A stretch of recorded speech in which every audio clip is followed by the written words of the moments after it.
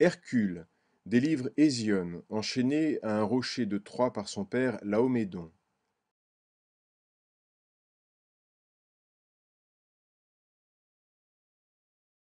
Hercule se présente de dos, brandissant probablement une massue pour frapper le monstre qui menace Hésione.